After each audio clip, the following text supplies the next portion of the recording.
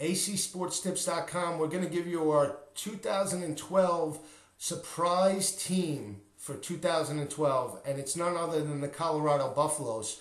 A lot of people are looking past uh, this team. They're in the Pac 12 this year. They did not have one game last year where they had a bye. They played 13 straight games. They kicked it off last year at Hawaii. They lost a heartbreaker down in Hawaii, and it just steamrolled ever since. They're coming off a 3 and 10 season. However, you know, they, their last game of the season, they pulled off an upset, beating Utah on the road, snapping a 17 game road losing streak. So we believe that Jon Embree, an offensive coordinator, coordinator Eric Bieniemy, former CU Buffs, both both players back in the in the late 80s and early 90s when they won the national championship. We just think that these coaches bring uh, an attitude to this team that was lacking in, in, the Dan Hawkins era. As another coach, you know, it all attitude all starts at the top, and coaches that do not bring, you know. Uh, a, a high attitude. They bring a laid back approach, like you know, Dan Hawkins was used to the Boise State where nobody bothered him.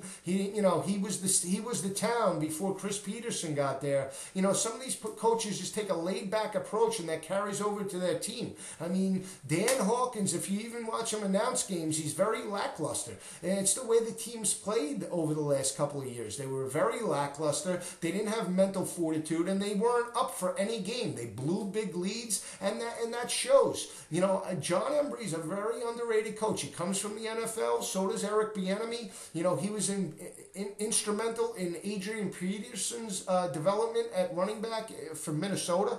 And I just think that you know another year with this team will instill an attitude and I look for you know I'm not looking for a 10 win season out of Colorado but don't be surprised if Colorado's you know 7 wins they can win a lot of games you know a couple of games last year against California that they, played very, very well. They played very well defensively against Ohio State on the road last year. They got blown out, but it wasn't because of the defense. They le- led by senior Douglas Rippy. He's an NFL draft pick, in my opinion. He, he plays with intensity and heart, and I think that this team will make great strides in year two of Jon Embree's uh, coaching uh, career.